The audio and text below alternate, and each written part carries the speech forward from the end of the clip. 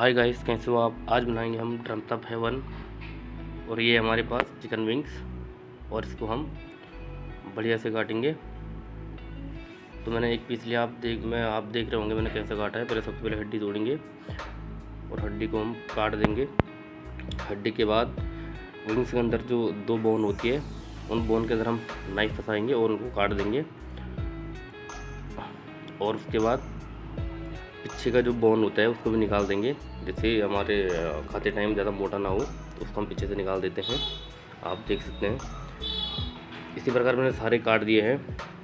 चलो दोस्तों।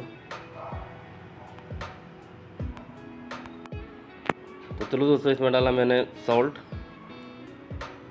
Chicken broth और हल्का चिली पेस्ट और विनीगर और इसको हम अच्छे से मिक्स करेंगे, ताकि अच्छे से नमक प्रॉपर पहुँच जाए विंग्स में।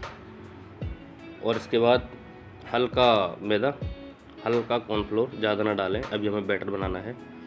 इसको अच्छे से मिक्स करेंगे। इसके बाद मैदा लिया। और जितना मैदा लिया है, उतना ही कॉर्नफ्लावर हाँ तो इसमें हम पानी डालेंगे।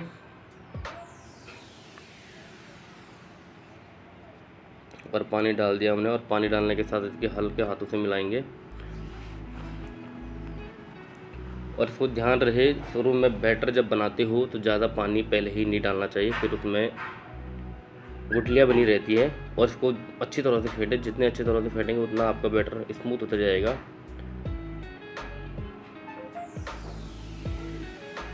और इसमें डालेंगे हम सॉल्ट चिकन ब्रोथ और हल्का चिल्ली ऑयल जिससे बैटर का बढ़िया कलर बने रहे।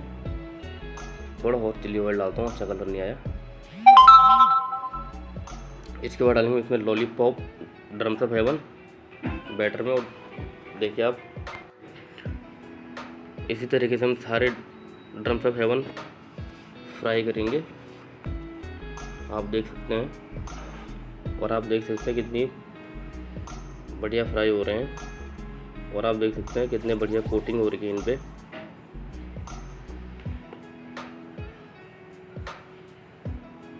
देखिए दोस्तों।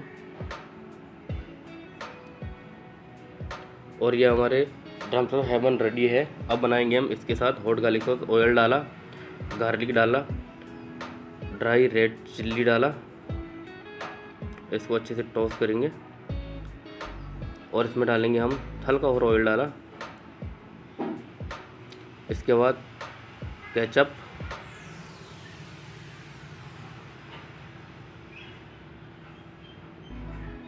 चिल्ली पे और water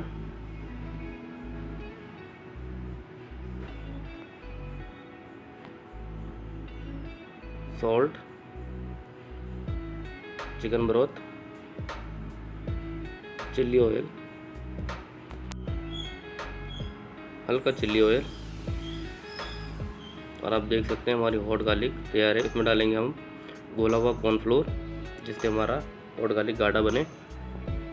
और स्प्रिंग अनियन चॉप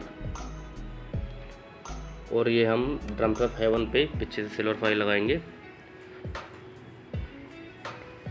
और ये हमारे ड्रम्स ऑफ़ हेवन रेडी है। आप देख सकते हैं कितने करारे और कितने बढ़िया बने हैं। अगर दोस्तों आप इसी रेसिपी के साथ बनाना चाहते हैं तो आपके ड्रम्स ऑफ़ हेवन भी इसी प्रकार बनेंगे और इसमें डाला हमने हॉट गार्लिक सॉस देख सकते हैं आप। तो दोस्तों, कैसा लगा? लाइक शेयर और सब्सक्राइब ज़रूर करें।